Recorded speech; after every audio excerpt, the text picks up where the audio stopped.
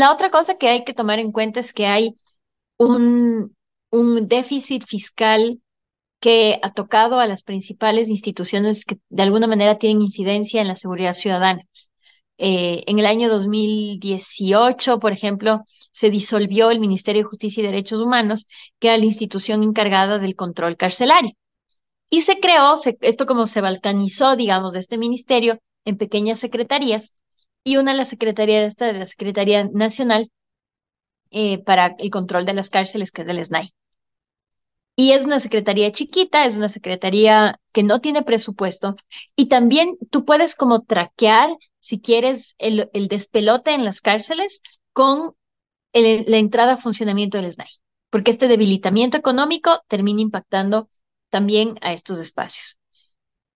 Y entonces, luego esto también impacta la función justicia, porque al menos en el gobierno del presidente Lazo, bajo, este, bajo esta equivocada noción de austeridad, lo que, hace, lo que se hace es que se recorte el presupuesto también a los operadores de justicia. Entonces, tú tienes jueces que hoy por hoy a los, a los abogados nos piden, por favor, doctora, si quiere que le, le, le pase su acción de protección, por favor, tráigame papel, tráigame tinta, eh, no tengo carpeta. Entonces, es un nivel de precariedad grande.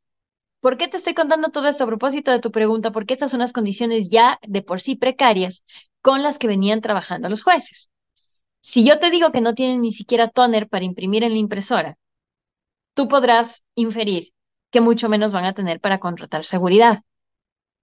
Entonces, son jueces que están trabajando en un contexto altamente complejo, donde no tienen ni siquiera los insumos básicos para hacer su trabajo, donde por el déficit han tenido que asumir una carga procesal que ya de alguna manera supera, si tú quieres, lo, la, la posibilidad de cada uno de, de lo que, lo que cada persona humanamente puede hacer. Y ahora súmale a todo eso, a toda esta, esta, esta cuestión, súmale que además tienen que adjudicar con la amenaza del crimen organizado, pero sin que el, Estado les provea de ningún tipo de seguridad. El día de ayer tú te habrás enterado que un fiscal fue asesinado. Este era un fiscal que era especial, si se quiere, porque era un, fiscal unidot, que era de una unidad específica para delincuencia organizada. ¿Ya? Estos fiscales, por su labor, están especialmente blindados y tienen unas salvaguardas y una, y, una capacitación especial, por ejemplo, capacitación que les ofrece la Embajada de Estados Unidos, etc. Pero este no es el normal de los jueces. El juez penal de primera instancia, eh, él va por la vida sin ningún tipo de salvaguardas. Entonces, imagínate si es que a este fiscal, que era un fiscal protegido, si tú quieres, un fiscal eh, importante que tenía además seguridad, le matan.